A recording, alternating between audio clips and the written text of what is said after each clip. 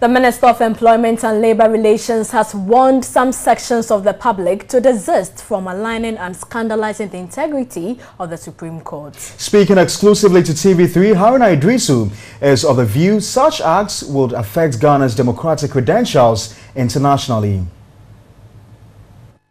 The Electoral Commission has already presented 56,000 names of those who registered with the National Health Insurance cards. But the counsel for the plaintiff has challenged the figure praying the court to ask the EC to furnish it with accurate figures.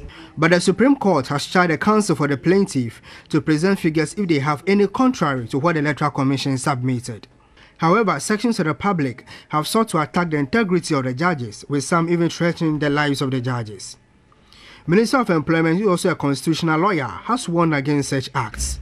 And any attempt to scandalize and impugn the integrity of the Supreme Court can have dire consequences on our governance processes and on our democracy. And ultimately, commentators, particularly legal practitioners, ought to be profoundly circumspect. Haruna reduces the view every decision by the Supreme Court or the Electoral Commission is subject to the Constitution. In reviewing what their mandate and authority is. We don't lose sight. So it's not for nothing that in the 1992 Constitution, there's always a proviso subject to the Constitution.